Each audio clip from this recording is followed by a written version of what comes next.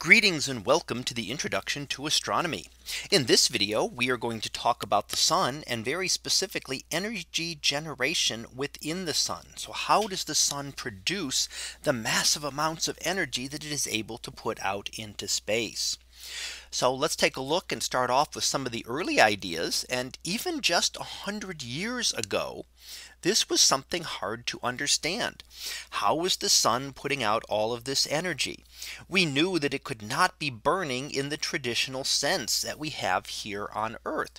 When we talk about chemical reactions or chemical burning as we burn wood or burn coal, even if the sun was a gigantic lump of coal, that would only last a few thousand years. And already at that point, we knew that the Earth was much older than that. We also know that there is what we call the conservation of energy and that energy cannot be created or destroyed, but it can change its form. So we can convert energy from one form to another. And that can be a way to convert, for example, gravitational energy into heat energy. Now various ways of doing that we do it through burning things. Burning is one way of changing forms of energy from a chemical potential energy into a heat energy for example when we are burning coal. But there are other forms of energy that we can use as well and let's take a look at some of those other ideas that we had here. And one was the idea of gravitational contraction and this was looked at in the mid 1800s by two uh, scientists, Kelvin and Helmholtz. And you may recognize Kelvin from our temperature scale that we use. And they suggested that the sun could convert gravitational energy into heat. And this is what we use right now. This is our understanding of why Saturn has excess heat. And essentially what we mean is as something contracts down and gets smaller, it has potential energy because of its size because material is out here around the edges. And as we bring that material in closer to the center, it contracts and it converts potential energy energy of position into kinetic energy, energy of motion as it moves down. And then through friction, that would convert energy into heat. And that would give us heat, but explaining how we could get heat from the sun.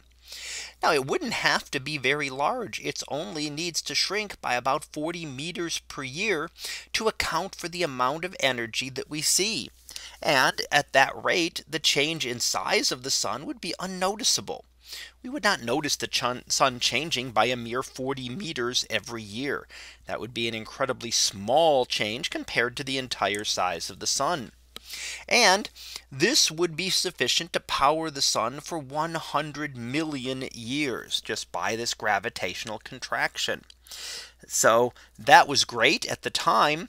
It was larger than the estimated age of the Earth. We did not know that the how old the Earth was at the time.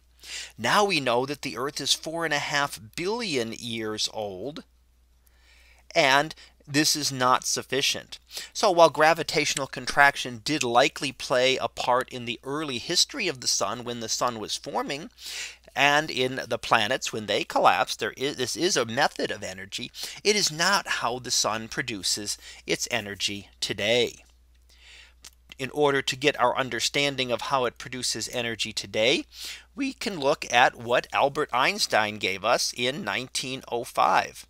And that was he found that matter, matter and energy are just different forms of the same thing. And we have his famous equation E equals mc squared. And what that tells us is that we can convert matter to energy and we can convert energy into matter that they can convert from one form to another. And they are related by just this constant called the speed of light. And the speed of light is a very big number. So what that means is if we take a very small amount of mass, we multiply that small number by a very big number squared that that gives us a very big change in the amount of energy. So what it tells us is that a very small amount of mass can be converted into a very large amount of energy. So if we take an example here of just a paperclip, if we could take a paperclip converted completely to energy, that would be the equivalent of 15,000 barrels of oil. Of course, we can't convert things that efficiently. We have no way to convert a paperclip completely to energy. But just to give you the concept of how much energy is contained just within the mass of an object. So to try to understand this, let's take a look at what, what some of the elementary particles are. Atoms we know are made up of three things. They are made up of protons, neutrons, and electrons. This is what we see on the left side of the diagram here. We have negatively charged electrons here. We have positively charged protons and neutral neutron, neutrons. But each of these has an antiparticle that we see on the left. So this is normal matter here on the left hand side. And on the right, we see antimatter. which includes anti-electrons, anti-protons, and anti-neutrons. Anti-electrons are also known as positrons. They are exactly like an electron, the only difference being the being the electrical charge. They have the same mass. Other characteristics are the same. But when matter and antimatter meet, we get the complete conversion of matter into energy. So an antiproton meeting a proton, they would annihilate each other. The mass would be completely gone. And based on Einstein's equation, that would be completely converted into energy. We could take the mass of the proton and the mass of the antiproton, add them together, multiply that by the speed of light squared, and that would give us the amount of energy that is created when two of those collide together. Now one other elementary particle we want to be able to understand is what we call the neutrino. These were proposed to exist without ever having been detected because it looked like some nuclear reactions appeared to lose energy. And if we recall a conservation of energy says we cannot we cannot gain or lose energy although we can change forms. So having another particle there it would be an interesting particle. It was very massless or very nearly massless. And it was a neutral particle so it didn't interact through electromagnetic interactions. And it didn't even interact at all with regular matter. It was very rarely interacting with any uh, any other material, any other material in space. So neutrinos were proposed for this reason. And we'll see that they become very important in our understanding of the sun. So let's look a little bit about what's happening here in different types of nuclear reactions before we look specifically at what our sun is doing. We have two types. There is nuclear fission and nuclear fusion. Nuclear fission is what we use in nuclear reactors here. So nuclear power plants on Earth use nuclear fission.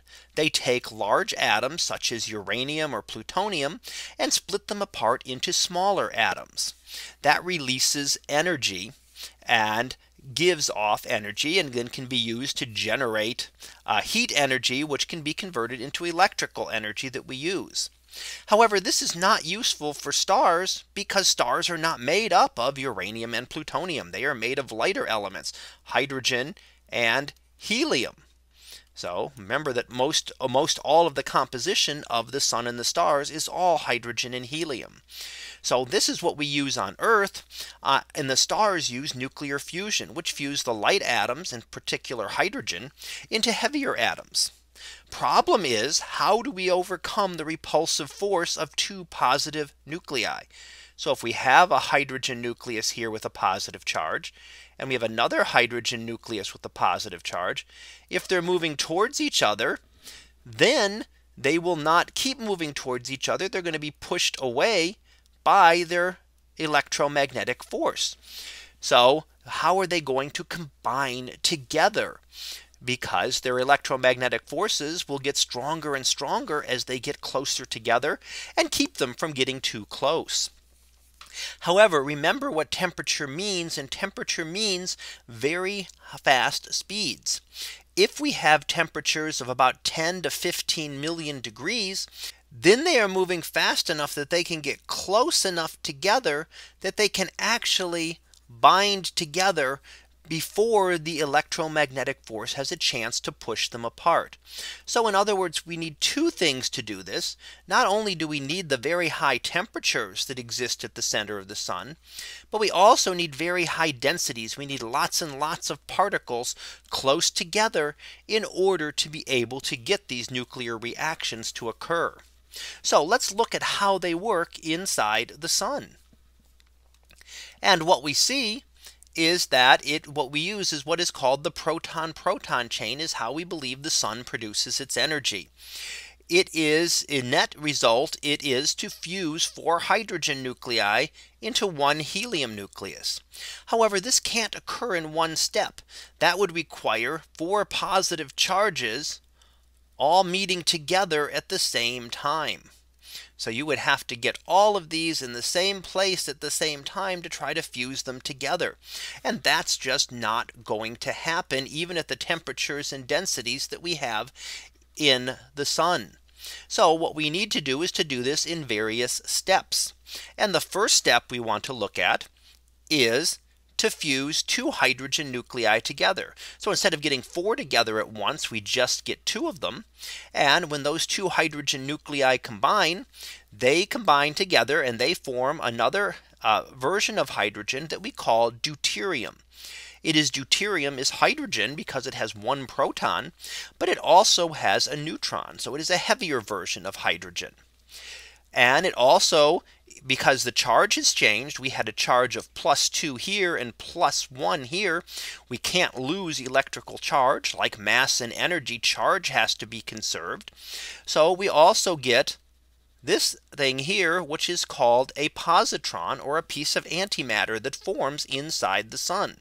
So we have two positive charges coming out, two positive charges going in.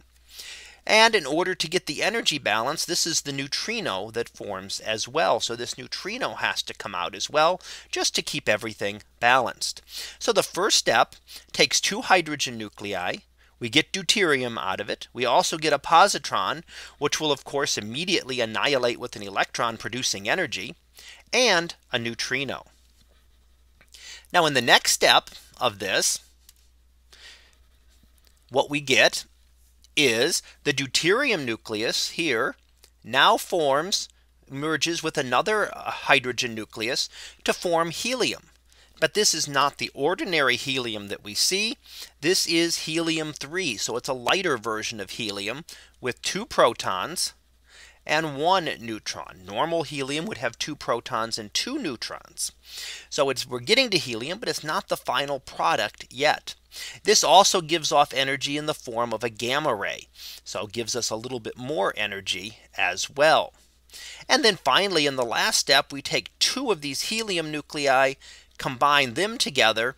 That forms the stable helium 4 nucleus, which is ordinary helium, and two protons. And these two protons go back out at high speeds and begin the process all over again.